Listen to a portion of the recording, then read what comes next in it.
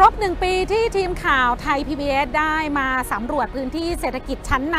ใจกลางนครหลวงเวียงจันทร์นะคะ ที่นี่เป็นบึงธาตุหลวงนะคะ ถือได้ว่า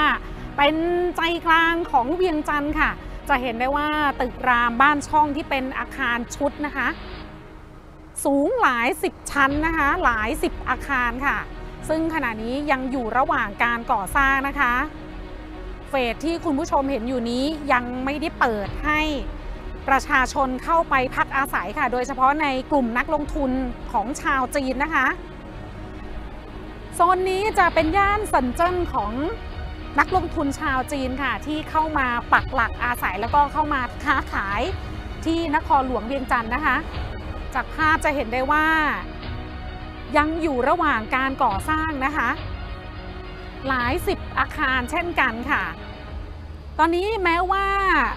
จะมีกลุ่มทุนจีนเข้ามาลงทุนในลาวมากมาย แต่ว่า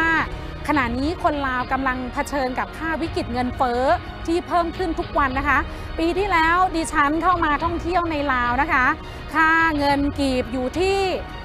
1 บาทต่อ 500 กีบนะคะ แต่ว่าขณะนี้ค่าเงินกีบอ่อนค่าค่ะ 1 บาทไทยนะคะอยู่ที่ประมาณ 650 กีบค่ะ ค่าแรงก็เท่าเดิมนะคะ เพราะว่ายึด ค่าจ้างตามเงินกีบของลาว ซึ่งขณะนี้ต้องยอมรับค่ะว่าชาวลาวต้องเผชิญกับภาวะ ค่าเงินกีบหรือว่าค่าเงินเฟ้อที่มันตกต่ำมากขึ้นค่ะ